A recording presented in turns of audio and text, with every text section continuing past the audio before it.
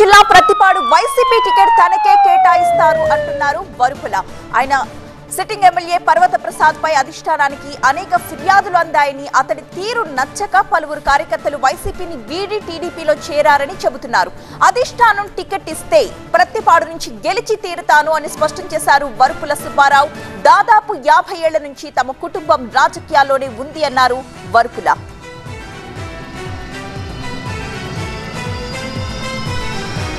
Prathipadu ticket ఇస్తే గెలిచి తీరుతానంటున్నారు వరుపుల సుబ్బారావు. మరింత సమాచారం మా స్పెషల్ కరెస్పాండెంట్ సత్య అందిస్తారు.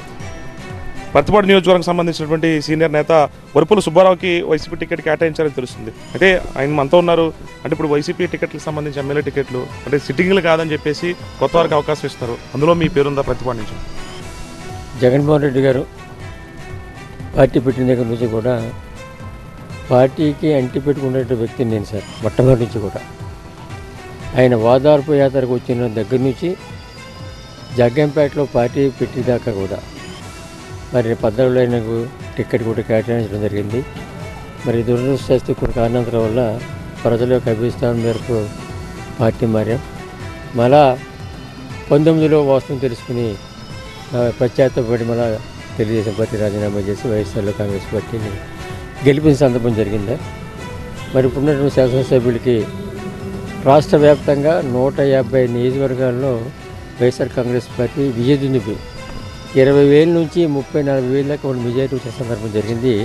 కానీ ఒక ప్రతిపాడులోనే నాలుగు వేల మెజారిటీతో గెలిచిన విధానం కూడా మీ అందరికీ తెలుసున్నది.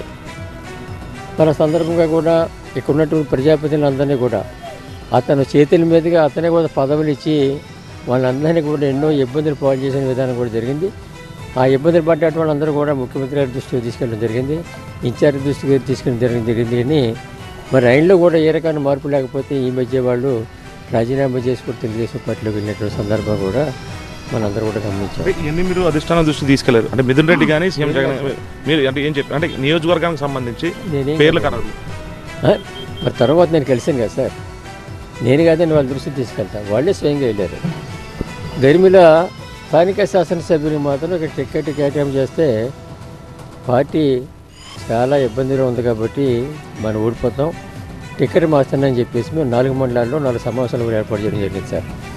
కారణం ఏంటంటే నాలుగున్నర సంవత్సరాల నుంచి తెలుగుదేశం పార్టీలోకి వైఎస్ఆర్ నుంచి పార్టీ వెళ్ళేది తప్పించి ఏ వ్యక్తి కూడా వైఎస్ఆర్లో జాయిన్ అయిన సందర్భం జరగలేదు సార్ ఈ నియోజకవర్గంలో. ఆ విషయం కూడా నేను హైకమాండ్ దృష్టి కూడా తీసుకెళ్ళాను.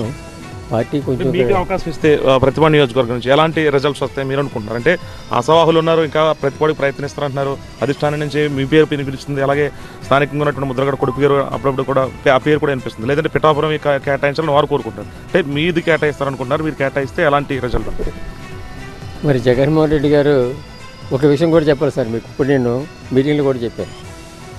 ఇక్కడ ఉన్నటువంటి శాసనసభ్యులు మా ఊర్లో మీటింగ్ పెట్టి వరుపుల సుబ్బారావు నేను గెలడం పెట్టి అతనికి ఉన్నటువంటి ఓటు ఒక్క ఓటు అని చెప్పి చెప్పడం జరిగింది సార్. ఆ సందర్భంగా ఇప్పుడు కూడా ఆ మీటింగ్లో కూడా నేను చెప్పాను. ఈవేళ నియోజకవర్గంలో ఒక్క ఓటుగా నేను ఉన్నటువంటి వరుపుల సుబ్బారావు లక్ష ఓట్లు వెతికాను సార్ ఈవేళ.